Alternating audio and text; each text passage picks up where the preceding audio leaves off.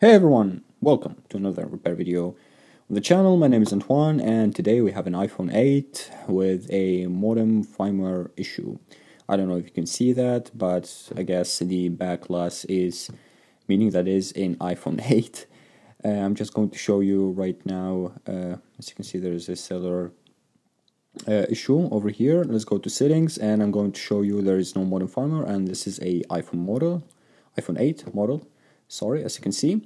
And uh, here we go. Uh, we don't have a modem firmware and obviously um, this is an issue with a Qualcomm models. And as you can see I have another uh, iPhone 8 also with the same problem with the no modem firmware I'm going to fix it uh, after this phone. I don't know if I'm going to do um, another video for it but if it's the same uh, fix so I guess not and of course, also we are going to uh, see if this phone will go through the repair.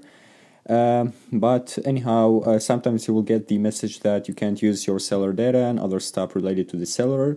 Uh, so again, uh, as always, we are going to run our diagnostic and diagnostics, and uh, then we start uh, the typical Qualcomm modem repair.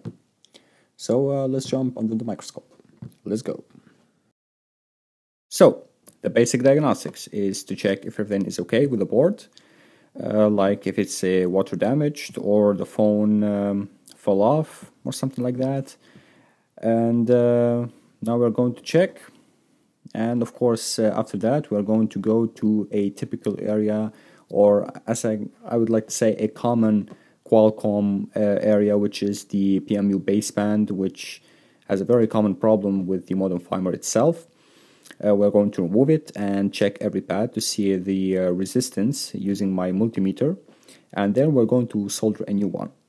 And now I would like also to add that uh, there is a very cool thing that I liked in the iPhone 8 and 8 Plus and X series is that the transceiver has been actually fused in um, fusioned, not fused, fusioned in one chip which is a good and a bad thing. But uh, anyhow, I'm not going to talk about it in this video because I said I'm going to make a future video about the transceivers and how they work and all the problems uh, with all the iPhones regarding the cellular issue.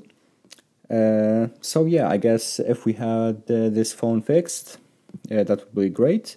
If not, um, well, you have to check all the outputs voltages from the PMU baseband and also check the WTR transceiver itself and of course the baseband uh, but it's very rare very very rare for the baseband itself to become an issue for the Qualcomm version obviously in the iPhone 8 and 8 Plus and X series.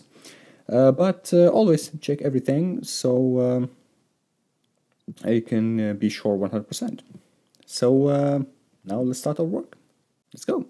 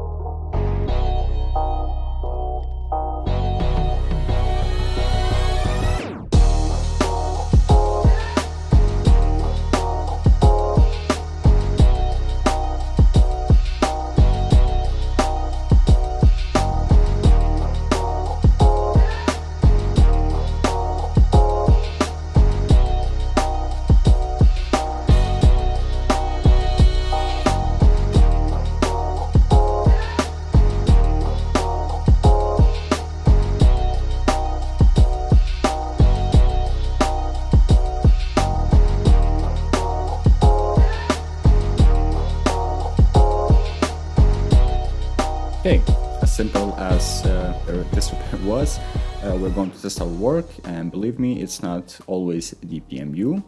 Uh, but I guess in this video is that changing the PMU and of course we um, measured all the pads on the board for the PMU uh, Qualcomm which is the power management for the baseband.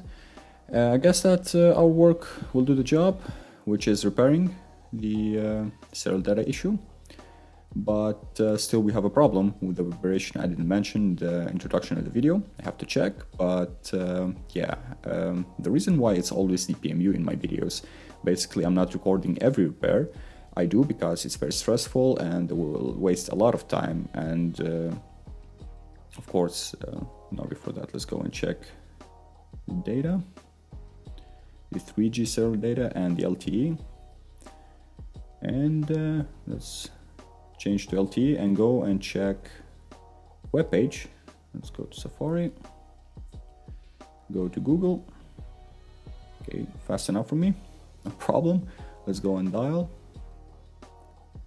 any number. I'm going to dial for the operator. Operator. Okay, here we go. Guess everything is okay, no problem still have a problem with the vibration and uh, after that uh, we are going to check the other iPhone 8 if it's not the PMU of course I'm going to uh, record it and I'm going to do or upload the video uh, in the near future.